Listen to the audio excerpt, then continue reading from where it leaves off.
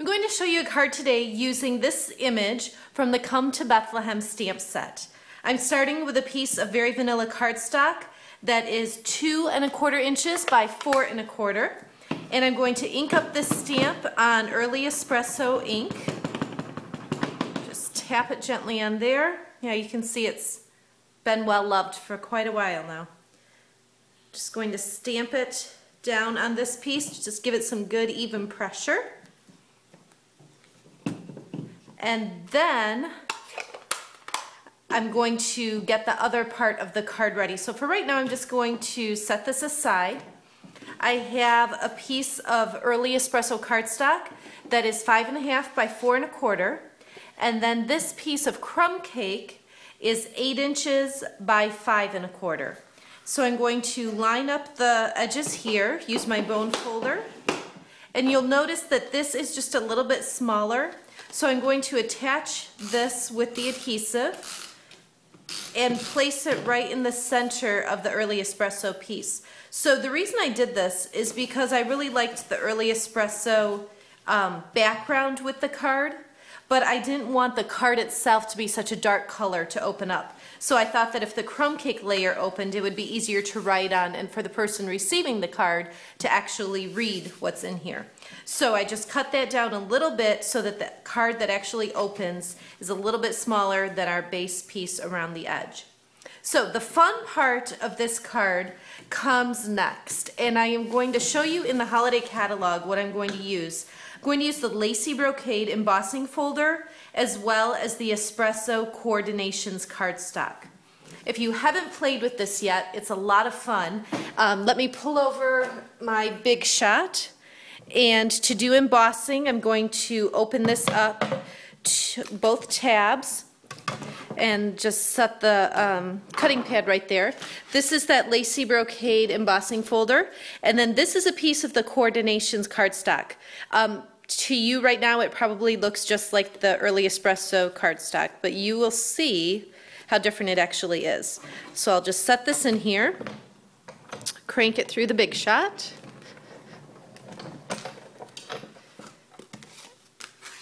And then I'll just go ahead and set this aside.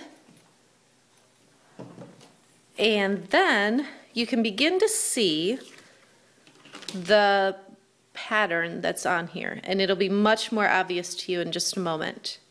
What you do with this Core'dinations cardstock, the next step is to take our sanding block.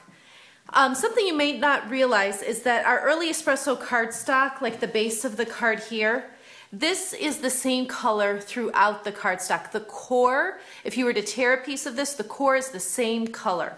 So this is unique in that the core is actually a different color. So when I sand this, I'm running the sanding block over the top and it's just hitting the areas that were raised up by that embossing folder.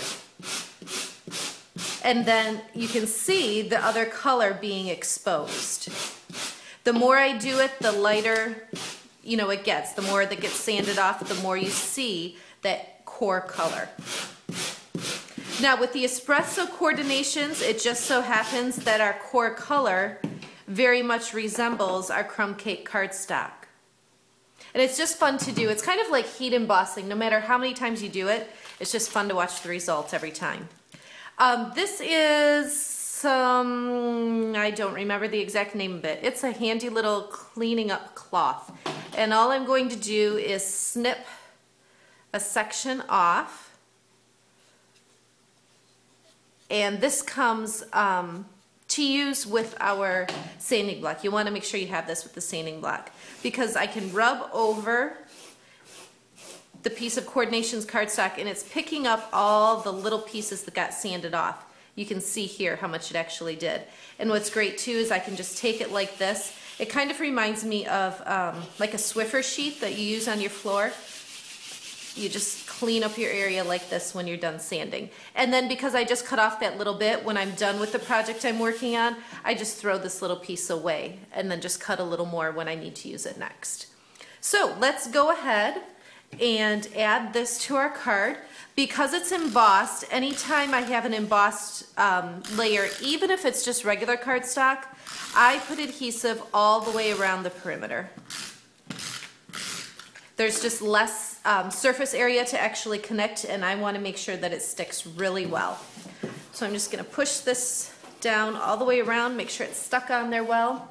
This is a piece of crumb cake taffeta ribbon and I'm going to tie that just in a knot right down here toward the bottom. A lot of people ask me how to do bows and I, I, suppose I could do a separate video just on that, but I pull it perpendicular like this, not like you tie shoelace, but pull it straight up and down. Notice the edges curl up a little bit and that's okay because when I bring this from the bottom and go up and around, just when I tighten it and kind of pull my finger out, it lets that relax and fall back down. And then I'll just trim up my edges a little bit with my ribbon scissors. And then the last thing I need to do is add this layer.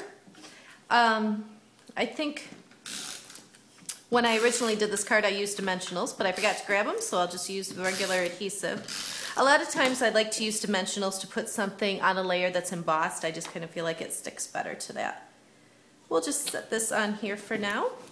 And then the last thing I'm going to do is take one of our rhinestones, just peel that off. It's got sticky on the back, so I can just set it on there like that.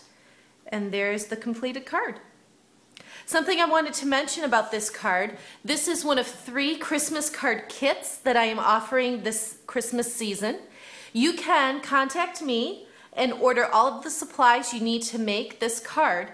The benefit, the advantage to you of ordering this from me is that I will make you one of these cards as a sample and I will also cut all of your cardstock for you. So all of these layers that are cut, when you order from me, you'll receive your order with all the cardstock cut and a sample card for you to copy.